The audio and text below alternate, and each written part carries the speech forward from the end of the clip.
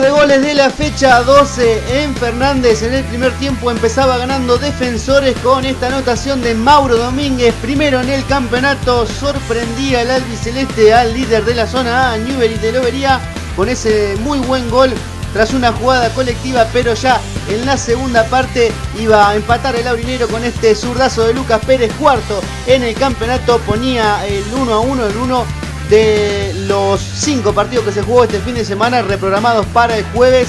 Ministerio Deportivo La Dulce e Independiente de Lobería contra Estación. Mientras vemos el derechazo de Martín Ledesma, también cuarto gol en el campeonato, lo daba vuelta Jorge Newbery, y así lo festejaba con todos los suplentes que estaban entrando en calor y le ponía cifras definitivas a esta victoria panza rayada. Otra vez Lucas Pérez que llega así a su quinto gol en el 2015. Fue 3 a 1 del equipo de Giorno y el cubano Fernández eh, en justamente Juan N. Fernández. El primer gol del partido entre Rivadavia y del Valle la nota Carlos Parisei.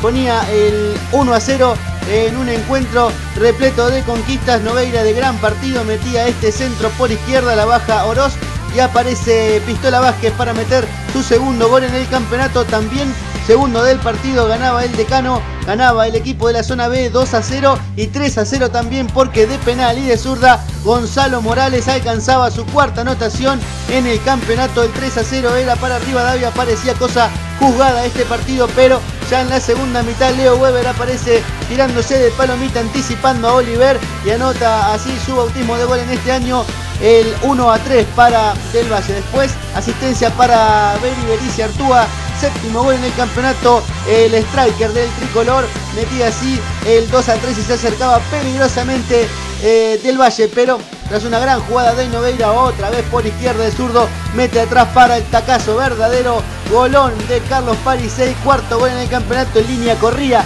hacia mitad de cancha mientras reclamaban los jugadores de Del Valle. Era 4 a 2, llegaría la última anotación del encuentro. Esta buena, este buen anticipo de Jonathan Hernández, quinto en el torneo para el Rusito. No le iba a a Del Valle. Fue 4 a 3 la victoria para el decano de la ciudad de Necochea. En la cancha de estación, Huracán recibió a Independiente de San Cayetano. Otro anticipo en la fecha, en este caso de Iván en Moulenar. Orteguita, el pescador que repite festejo y otra vez nos queda atrás del poste el 1 a 0 para Independiente. Pero había un golazo de parte de Darío Miotti, quinto en el campeonato, se golpea el pecho, era el empate, pelota parada, tiro libre, golazo de Huracán. Lo mismo para Gastón Villar, pelota parada, tiro libre y golazo para este que debuta en la red. El 2 a 1 lo dio vuelta el globo y se quedó con los tres puntos.